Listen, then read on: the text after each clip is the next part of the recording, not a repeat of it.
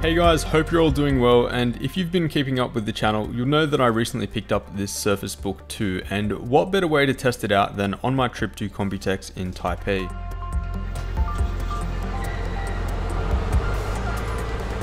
So from typing scripts in cafes, editing raw photos in Lightroom, to creating 4K videos and exporting them on a deadline, did the Surface Book 2 give me everything that I needed? Well, the model I've got here is the 13.5 inch 256GB model with the performance base, and that'll set you back around $2,000 US. For that amount of money, you'd expect this thing to be all sunshine and rainbows out of the box, and it mostly is, but if you're going to be pushing this thing to its absolute limits like I am, you'll definitely want to know know the ins and outs of this thing and also a very important performance tweak. Now there were a couple reasons I had my eyes on the Surface Book 2 as opposed to other laptops and one of the main specs which were non-negotiable was the 8th gen Intel CPU. The performance improvement over 7th gen is just far too nice to even think about buying one without it, so here we're going with the i7-8650U, a quad-core CPU with a boost clock of up to 4.2 GHz, but we'll talk more about that later. And this one has 8GB of RAM, which for what I'm doing I've found to be absolutely fine.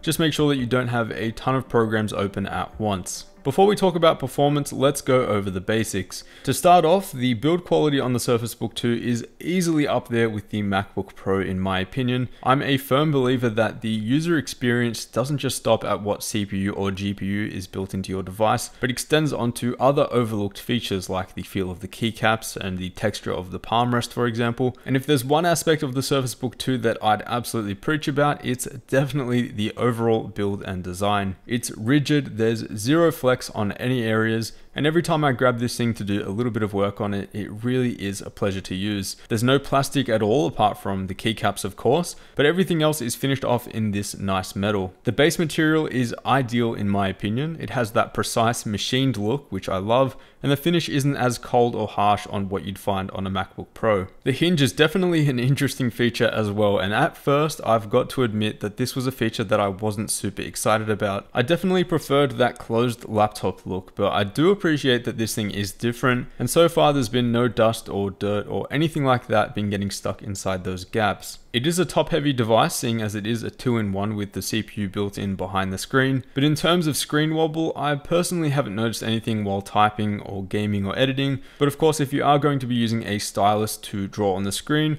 I think it's fair to expect the screen not to be entirely rigid. There aren't any fans built into the CPU portion of the device, but I believe that may be different for the 15 inch version, but otherwise both the 13 and 15 inch version have a fan built into the GPU portion of the device in the performance base, with the exhaust airflow between the screen and the keyboard. Now these are quite loud at full blast, so if you are going to be utilizing that GPU during a 3D render or maybe while gaming, just keep in mind that they will ramp up to a pretty audible level, otherwise the device is completely silent with normal use.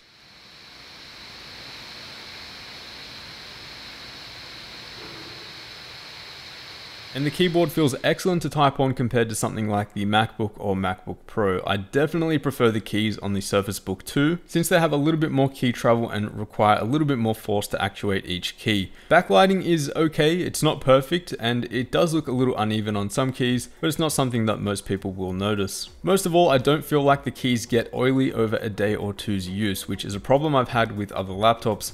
I really wish that Microsoft made a keyboard with this exact same layout for desktops as I would pick that up within a heartbeat. Trackpad is decent too, the buttons are probably a little harsher than I'd like, but I really do appreciate that they're built in underneath. Otherwise, the Windows Precision drivers feel snappy and responsive, and I do find that the surface area is big enough for me personally, but I'd still like to see it scaled up to match what Apple have done with the MacBook Pro. Okay, so let's quickly talk about that screen, and if you're a content creator like me, you'll be pleased to know that this thing is among the best out there. It's got a resolution of 3000 by 2000, so plenty of room to work with there. The colors are calibrated from factory, so you know out of the box that you're getting something that's ready to go. And on my device, I'm getting 423 nits of brightness, an sRGB color rating of 99%, and an Adobe RGB color rating of 81%. Skin tones look accurate from what I can see, but most of all, colors are true and not oversaturated. I understand that the bezels are kind of thick compared to what you'll see on a Dell XPS for example, but you honestly get used to it and I don't consider this to be a deal breaker. Port selection is good enough enough for my use case with two USB 3.1 Type A on the left side, aside of the SD card reader, which by the way was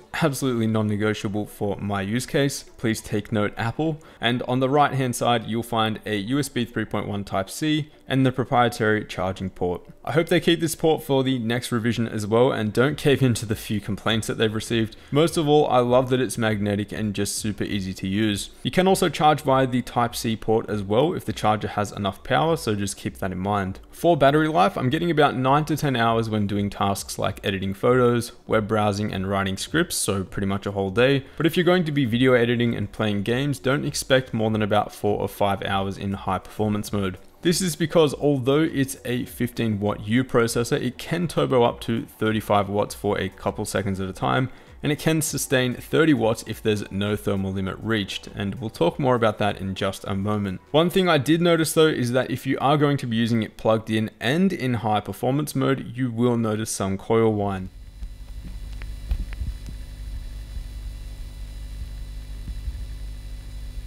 It's kind of annoying and the reason why it happens is even more annoying. When in high performance mode and not charging, the CPU will adjust its frequency depending on what tasks are being processed as it should. But as soon as you plug in that charger, it decides to boost up to 4 GHz even when it's doing nothing at all. It's kind of annoying but you can pretty much get identical performance by using it in better performance mode when plugged in. So this is what I personally opt for and recommend if you find that coil whine too annoying. Now one of the big reasons that you'd buy the Surface Book 2 over something like the Dell XPS 13 or 15 is that this is also a quad-core 13.5 inch tablet.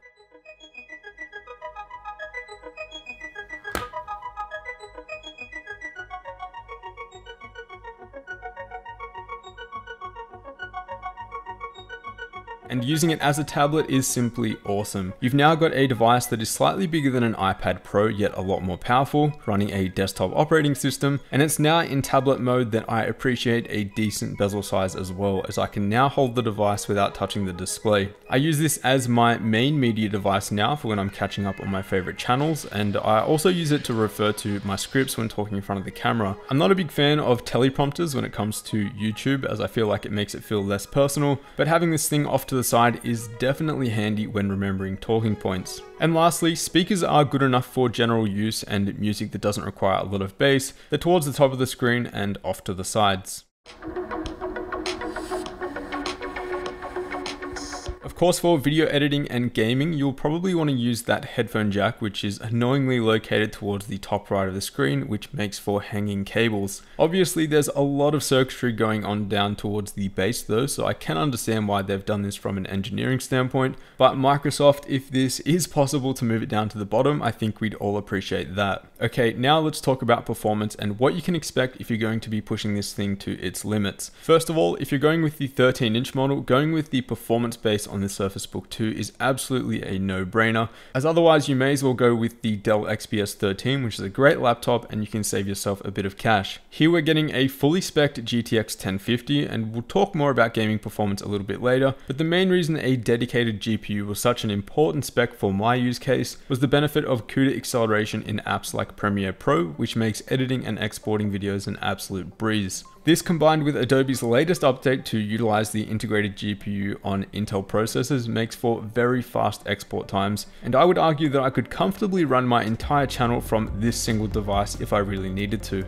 Over at Computex, most of my videos were about 5 minutes or so given the type of content, but they only took about 10 minutes or less to fully encode the video in H.264 with effects and have that file fully ready for upload. Timeline scrubbing and video playback is fine with a native 4K file from my Sony a6300, but if you are using heavy color grading layers and effects, video playback as you would expect isn't the experience that I'd be getting from the overclocked 8700K in my desktop. In pretty much all cases though, I do prefer to work with proxy files anyway, as this allows for flawless timeline performance no matter what color correction or effects I throw at it, and overall this results in a much faster and more productive editing experience. For those who don't know what proxy files are, they're basically lower resolution files that represent and are synced to the original file, so you're able to edit a lot faster and without any hiccups in the case of the 720p Cineform proxies that I personally use, and then it still encodes the original 4K clip for the exported file. And the great news is, is that encoding the proxies on this thing is an absolute dream. Again, thanks to that iGPU boost that we talked about earlier, I honestly can't tell the performance difference here between the Surface Book 2 and my high spec desktop PC. So video editing performance is good, but we can make it a little bit better. Let's start by talking about the thermals. Now, as I said before, the CPU in the 13 inch i7 model that I've got here is the quad core i7-8650U, which is said to be a 15 watt processor, but can boost up to a consistent 30 watts in the Surface Book 2, which can become a problem under certain loads. The first thing you need to know is that there's four power settings on the Surface Book 2 when it's not plugged in, and these are battery saver, recommended, better performance, and best performance. Now, I went ahead and benchmarked each one of these in Cinebench R15 and monitored the power usage in Intel's XTU to get the best idea for which one is best for me. The battery saver mode does exactly that, with the 8650U only consuming about 8 watts, peaking at a temperature of 43 degrees C, and giving us a lowly score of 326. Stepping up to recommended now, the CPU peaks at 53 degrees whilst consuming 11 watts, resulting in a score of 348. With the better performance setting, the CPU is now granted up to 14 watts during the benchmark, hits 58 degrees C and gives us a slightly higher score of 359. Note that the CPU clock speed is still below 2 GHz for all three settings here, and it's not until we bump it up to the best performance mode that we reach above 3 GHz. The score now sits at a much improved 664, but notice that the CPU is now consuming 30 watts and hitting a thermal limit of 91 degrees C about midway through the benchmark. This is where undervolting comes into play. So booting up Intel's XTU software, I did manage to run a stable V-core offset of minus 110 millivolts, and the CPU is able to boost much higher now at 3.5 GHz and for a much longer period as well, resulting in a score of 747. Do note that the CPU is still eventually hitting that thermal limit at around 90 degrees, but this thermal limit isn't a concern for any other apps that I'm running. If it is a problem, you can adjust the turbo power limit from 30 watts down to about 20 or so, and that will fix your thermal issues. I did get a small boost in export times here while running the undervolt, but only by about 22 seconds since the overheating was only present for short moments at a time. This CPU undervolt is also a great idea to run for gaming as well, seeing as things do get pretty toasty there too. In Witcher 3 for example, with an ambient room temperature of 20 degrees C, the CPU would hit upwards of 80, whereas the GPU would sit comfortably at 65. So there's no need to run an undervolt for the GPU in my opinion, unless you're going to be using this as your primary gaming device, which let's be honest is probably not a great idea from a price to performance standpoint. While the Surface Book 2 with a GTX 1050 can game, you'll want to stick to light titles and of course lower that native resolution of 3000 by 2000 down to something more reasonable like 1080p or 50%. Overwatch plays fine at 1080p with high settings, Fortnite played really well also with a resolution scale of 75%, but titles like Witcher 3 which are a little bit more demanding will need to be dropped down to something more conservative like 1800 by 1200 if you want playable frame rates. The bottom line is it definitely can game, but you'd be crazy to buy this thing solely for gaming.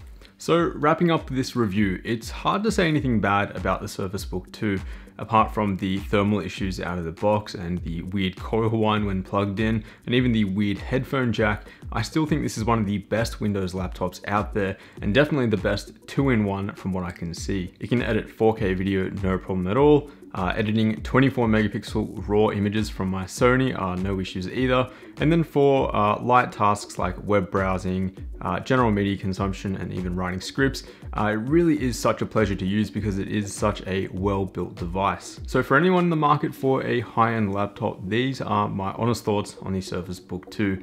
Uh, I think it's pretty clear that it's something that I'd highly recommend. Uh, yes, it's expensive, uh, but there's nothing out there currently that can do everything uh, that this thing can do. It really is a very versatile device.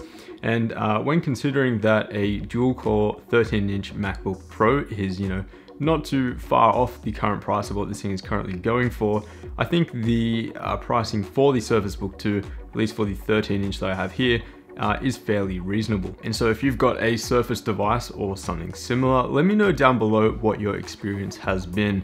As always guys, a huge thanks for watching. Subscribe if you haven't already and I'll see you all in the next one.